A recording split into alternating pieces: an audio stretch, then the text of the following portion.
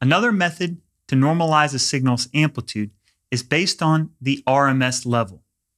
Here, we're going to scale the volume of the signal such that the resulting output signal's RMS level meets some criterion.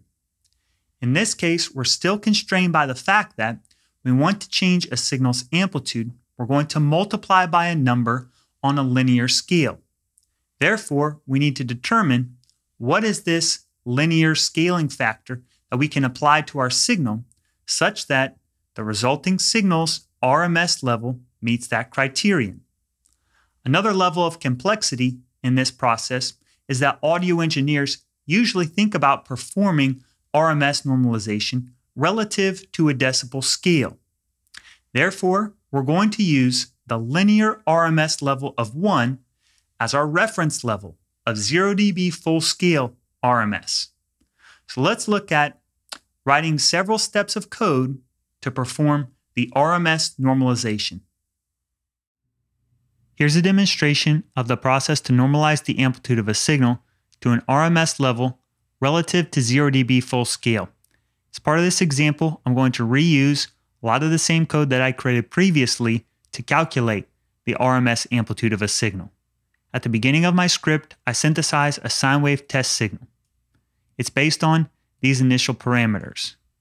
We're going to use it as an input signal that will process and create a new signal. But for now, I'm going to calculate the RMS level of the input. Again, that's the square root of the mean of the signal squared. For this example of a sine wave with a peak amplitude of 1, when I run the script, we see that it has an RMS level of 0.707.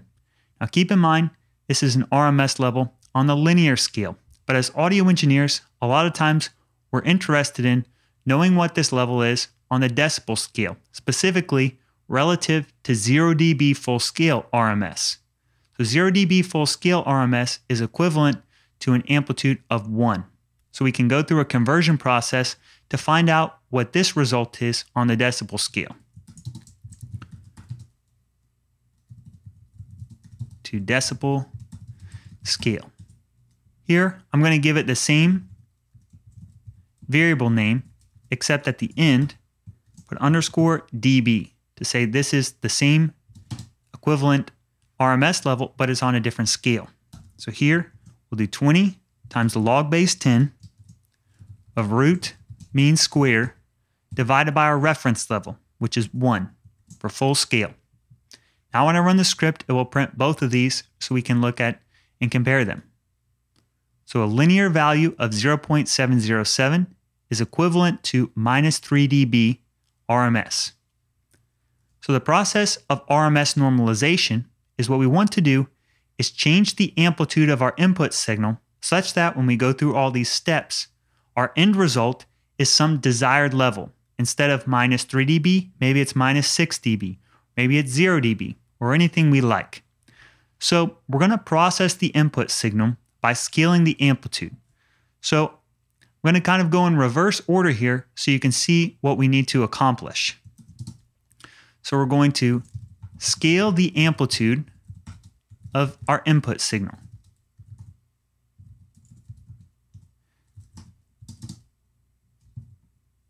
So we're still going to have to use a linear gain change by a scaling factor. Right now, I'll call A. We need to figure out what A is supposed to be.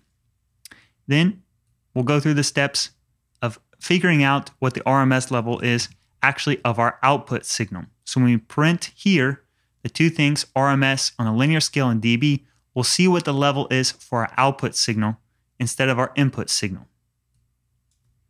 All right, so typically the way that this works is we know what the level is on the decibel scale. So I'm going to put in here, put in the desired level on the decibel scale.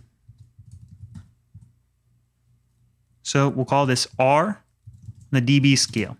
For now, let's just say we're going to change it so that has an output RMS level of minus 6, which is the equivalent of 0.5.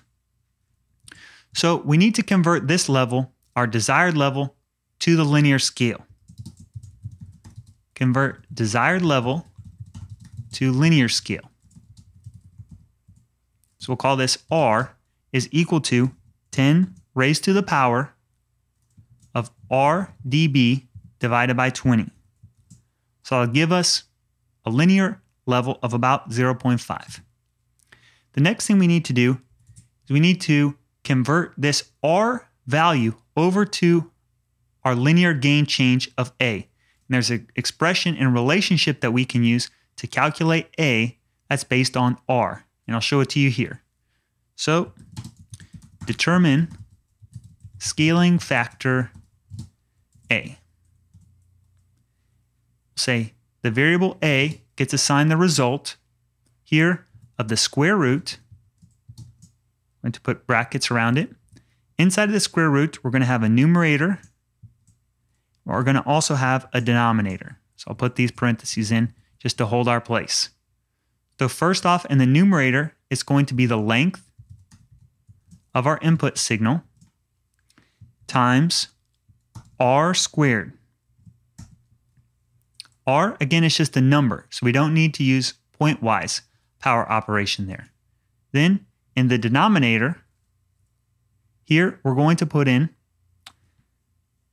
the sum of our input squared. In this case, it is where we need to use pointwise. So now let's double check what we've got. We've got the square root of the length of the signal times r squared divided by the sum of our signal squared. So that'll give us a value of A. A is then applied to our input signal, and that helps us calculate our output signal. Then we're going to go through and figure out what the RMS level is of our output signal. So we should see down here something like 0.5 and an RMS level of minus 6. That would mean that we'd scaled the input signal appropriately to get our desired result. That's exactly what we end up with. I could change this level up here to something else, minus 7. We end up with a calculated RMS level of something else. I could change this to minus 3. And as you can see, we've now come up with a method in several lines of code that will calculate a scaling factor A, which when applied to our signal will produce an output that now has our desired RMS level on our decibel scale.